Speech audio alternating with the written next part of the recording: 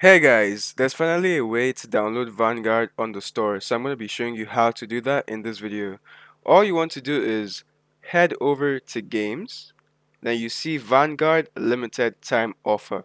You're going to want to scroll down, or well, scroll to the side and click on the standard edition, okay?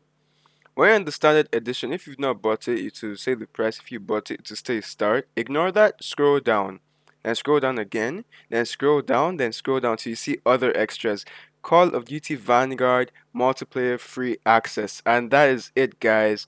That is how you get Vanguard's free access week, just like that. I hope you guys found this video helpful. And this free access week is from November 18th to November 22nd, and it's for multiplayer only. You know, you can try the game out, see if you like it. Anyways, I hope you guys found this video helpful and I will see you in the next one. Peace out and take care. If you have any questions, feel free to reach out to me in the comments or join my Discord server. I'll help.